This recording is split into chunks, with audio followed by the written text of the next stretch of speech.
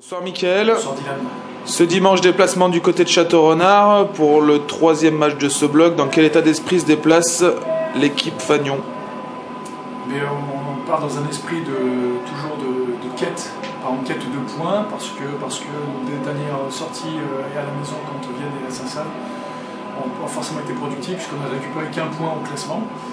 Donc euh, voilà, si on veut se qualifier, il faut, il faut prendre des points, il faut prendre des points à l'extérieur. Et voilà, sur les deux matchs qui restent, eh ben, on, va, on va essayer de, de jouer euh, une carte à fond pour, pour récupérer des points justement.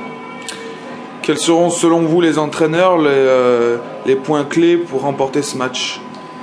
On s'attend à rencontrer une équipe rude, rude dans le combat, hein, en termes d'agressivité. Ces, ces équipes de la vallée du Rhône sont, sont, sont réputées pour, pour ce jeu de- jeu d'avant et cette virulence du jeu d'avant. Donc il faut s'attendre à un combat, de, un combat. Et je pense que ça sera clé. Si on tient le match devant, on, on a quand même quelques, quelques arguments à faire valoir derrière.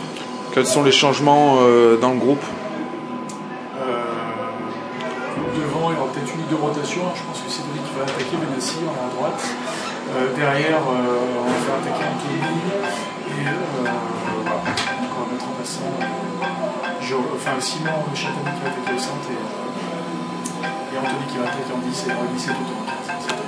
Merci Mickaël. Bonsoir Mickaël. Salut. Ce week-end, déplacement du côté de Château-Renard. Dans quel état d'esprit et dans quelle optique se déplace l'USB Euh, ben, J'espère euh, une équipe bien revancharde, parce qu'on vient de perdre euh, les deux principaux matchs euh, entre guillemets de la saison, donc de derby. Donc j'espère qu'on va un peu se remobiliser pour ce match et euh, essayer d'aller faire quelque chose euh, à l'extérieur surtout. Justement, l'USB enchaîne euh, avec, avec déjà deux, deux défaites consécutives. Est-ce que l'état l'état d'esprit et le mental des, des troupes sont un peu, sont un peu éméchés? Je pense qu'on est déçu, déçu parce qu'on n'a pas réussi à mettre en place le jeu qu'on voulait.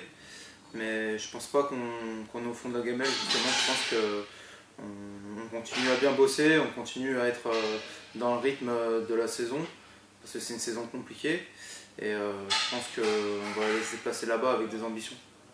D'un point de vue personnel, tu enchaînes les, titularisations après un petit passage en équipe réserve.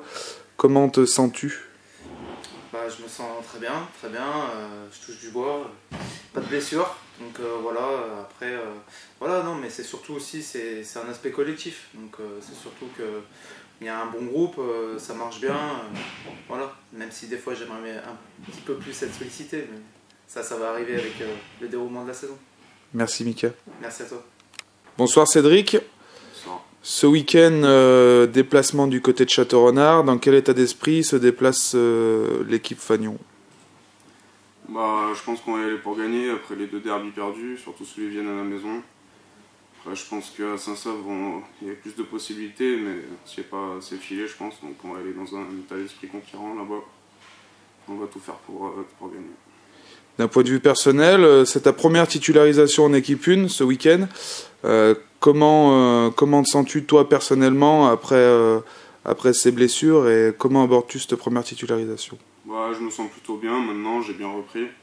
Après ces 2-3 saisons où j'ai fait un peu, enfin, plus des moitiés de saison qu'autre chose. Et donc, je suis content de réintégrer le groupe la semaine dernière et surtout d'être titularisé ce week-end à Château-Renard. Un petit pronostic? Bah, la victoire, hein. avec le bonus offensif. Mais... Merci Cédric.